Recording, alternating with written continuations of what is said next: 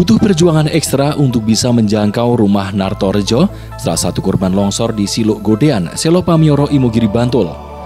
Satu-satunya jalur yang bisa ditempuh hanya dengan berjalan kaki, melalui jalan setapak terjal dan menanjak sejauh 500 meter. 17 Maret lalu, rumah Mbah Narto tertimpa material longsoran yang terbawa arus deras air hujan.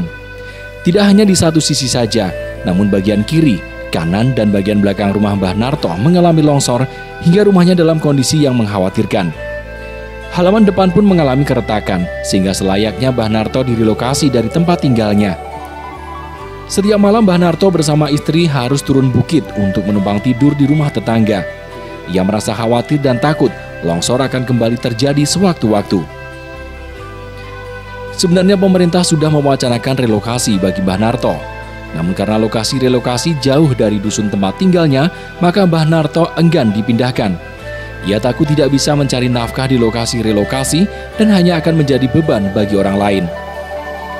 Kini ia berharap agar pemerintah desa Selo Pamioro Imogiri Bantul mengizinkannya untuk menyewa tanah kas desa yang terdapat di sekitar tempat tinggalnya dan didirikan rumah tinggal sementara di sepanjang sisa hidupnya.